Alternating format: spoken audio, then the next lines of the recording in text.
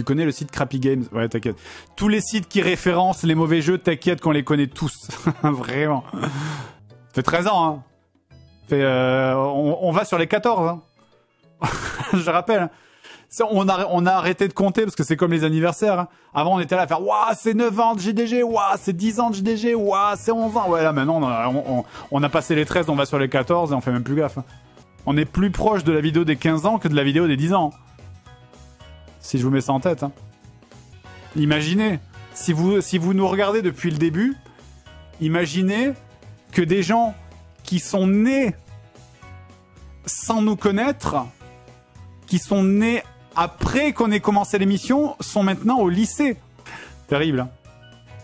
C'est comme euh, cet exemple que j'avais cité la dernière fois, c'est qu'il s'est écoulé plus de temps entre maintenant et la vidéo Tintin au Tibet que entre la vidéo de Tintin au Tibet et le moment où Tintin au Tibet est sorti. L'ancêtre de YouTube, let's go. J'avais 15 ans quand je vous ai découvert, on arrive sur les 30, bah let's go. hein. Effectivement. C'est vrai que si tu nous avais découvert quand t'étais adolescent, maintenant là t'es euh, bien dans l'âge adulte là. T'es euh, bien bien bien adulte, euh, t'as peut-être des enfants. Euh, dinosaure. hein. Denver, le dernier dinosaure là. J'avais 14 ans, j'en ai 27. Mais c'est vrai que quand, quand, quand nous on a commencé à faire des vidéos, j'avais 26 ans. Premier JDG, j'avais 26 ans. C'est fou. hein. Maintenant j'en ai 40.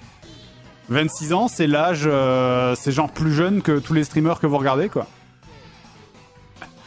Moi aussi, j'ai été. euh, Moi aussi, je pouvais faire quand j'ai commencé, genre, Hey, salut, c'est joueur du grenier, le petit jeune de, le petit jeune, le petit jeune de YouTube là.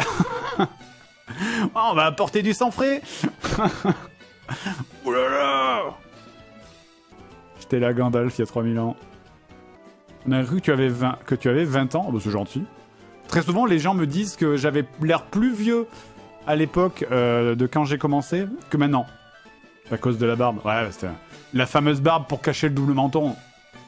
Ça, je peux te dire, quand j'ai perdu mon double menton, j'ai été ravi de la raser. Parce que la barbe là qui commence là et qui se poursuit jusque là, tu sais, ça c'est vraiment euh, l'astuce de gros euh, pour pas voir que t'es gros quoi. Ça te manque d'être gros. c'est franchement un, euh, non. J'ai passé toute mon enfance à être gros.